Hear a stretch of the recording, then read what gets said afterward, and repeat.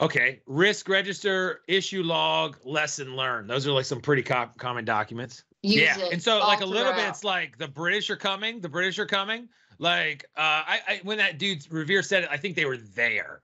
Like so, it might have been like, dude, the British are gonna come. Like in like a week, like they're coming, they're coming. Like if they come, we're in deep, or we're gonna we're in a fight. And then it's like, yo, they are here. Like th- get your gun, bro. Like they are here. And then the lesson learned is like next time we ought to lay this stuff out ahead of time. Or dude, it was so awesome that we threw all that tea in the. I don't know history, but Yeah. like we're trying to record all our goods and bads as we go because I don't remember what I ate for lunch today. Good luck tomorrow. And so, yeah, that's And- that's kind of how it works. Yeah. but you're recording those things throughout the life cycle, not not only at the end like a retrospective, right?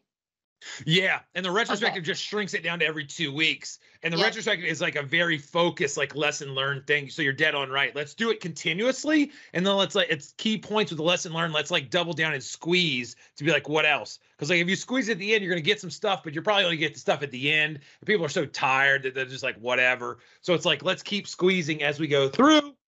And then the retro, just to go on there, it's like we are doing lesson learn but we are tactically embedding in continuous improvement as we go to be like, hey, it's cool to gripe about problems. I love it. Dude, let's write them down, but let's just pick one and let's figure out how we can get better. And then let's set up the experiment for two weeks to be like, yo, we're going to do it. And then we're going to see, did it work or did it not work? If it worked, sweet. If not, let's make it better. And then let's keep it going. So that's what they're trying to do embed continuous improvement into the game.